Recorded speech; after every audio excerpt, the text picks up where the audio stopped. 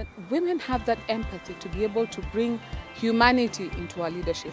Another thing women have, women have brains. We are sharp. We know how to organize. We know how to make plans.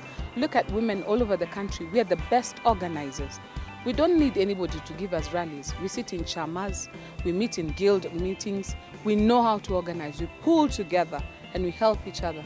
Now, that is the angle that is missing from our politics nowadays. We need to come to a place where leadership becomes more about the people. And in every family, the person who's first to lay down their life for the family is the woman. And I think woman leadership in Kenya will bring that angle.